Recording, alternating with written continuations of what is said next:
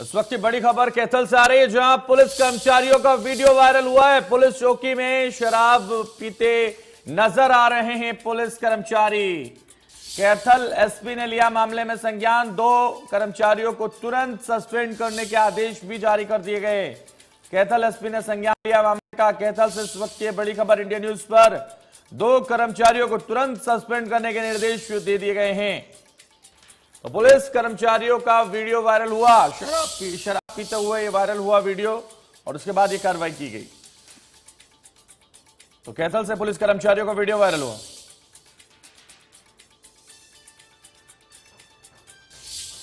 ज़्यादा जानकारी के लिए हमारे संवाददाता जोगेंद्र कुंडू हमारे साथ फ़ोन लाइन पर जुड़ गए जोगेंद्र जिस तरह से दो कर्मचारियों को तुरंत सस्पेंड किया गया और मामला यह है कि शराब पीते हुए वीडियो वायरल हुआ है जी, बिल्कुल, कैथल के बस स्टैंड की घटना है, नए बस स्टैंड की, जहाँ पर जो परसों की रात रात के समय जो पुलिस कर्मचारी, जो पुलिस चौकी बनी हुई है, वहाँ पर जाम छलकाते हुए नज़र आए हैं और जब मीडिया वहाँ पर पहुँचा तो उसको देखकर हक्का बक्का हो गए। तो जिस तरह से ये घटना जो सेवा सुरक्षा और सहयोग का जो नारा, जो हमारी हरियाणा पुलिस देती है, वो कहीं ना कहीं बिल्कुल सिरे से नकार दिया गया है।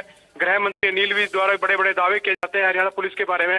सेवा सुरक्षा और सहयोग का नारा देने पुलिस का ये जिस तरह से जो जाम छलकाए जा रहे थे तो कहीं ना कहीं इस पर सवालिया निशान ज़रूर खड़े हो रहे हैं। तो जिस तरह से जो कर्मचारी, जो पब्लिक की जो ज़िम्मेदारी जो पब्लिक की सिक्योरिटी की ज़िम्मेदारी जो पुलिस कर्मचारियों की बनती है, उनकी सुरक्षा की ज़िम्मेदारी जो बनती है तो कहीं ना कहीं उसको सिरे से बिल्कुल दरकिनार करते हुए जिस तरह से जाम छलका रहे थे, कहीं ना कहीं एक बड़ा सवालिया निशान यहाँ पर खड़ा हो रहा है। और एस एसपी ने तुरंत संज्ञान लेते हुए इस मामले पर दो कर्मचारियों को तुरंत सस्पेंड कर दिया गया है। जी।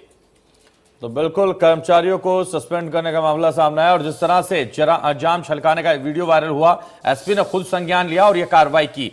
हालाँकि जिस तरह से और जिस तरह से जोगेंद्र, अगर पुलिस पर जहाँ तमाम ज़िम्मेदारी होती है, वो इस तरह के वीडियो उनके वायरल होंगे तो आम जनता क्या करेगी? क्या असर उन पर पड़ेगा?